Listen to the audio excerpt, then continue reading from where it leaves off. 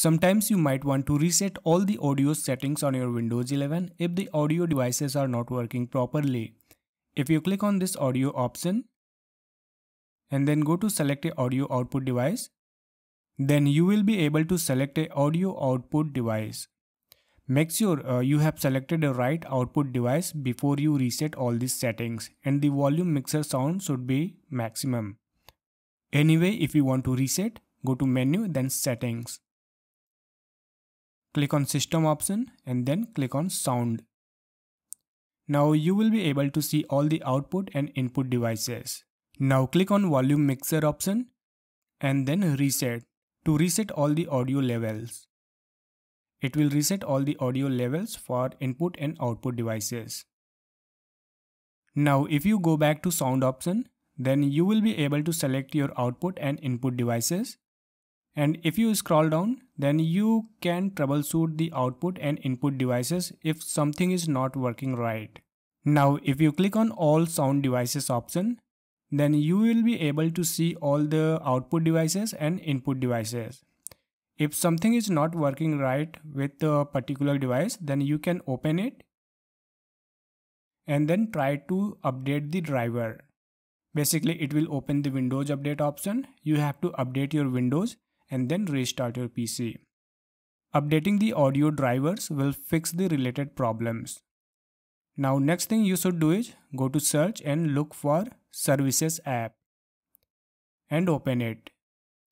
Now look for Windows Audio Service and Windows Audio Endpoint Service. Scroll down to find these two services Windows Audio and Windows Audio Endpoint. Right click on it and then restart. Click on the yes option. And same for the Windows Audio Endpoint Builder. Right click and restart the service. And after that it will reset all the audio settings.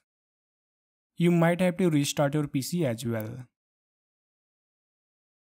Now the next thing you can do is go to menu and settings, sound option Scroll down to find more sound settings option and click on it.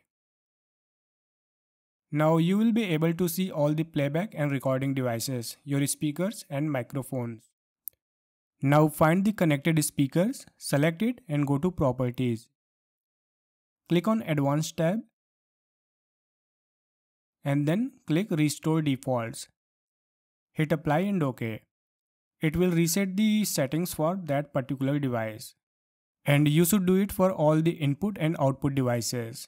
Go to their properties advanced tab and restore default settings. Hit apply and OK. Now click on this sounds tab and select the Windows default under sound scheme. These are the default Windows sound which you hear during different events on your PC. Select the Windows default sound, hit apply and OK and this will reset all the sound customization with Windows.